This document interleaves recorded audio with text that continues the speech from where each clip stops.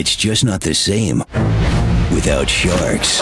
Coming this summer on Discovery.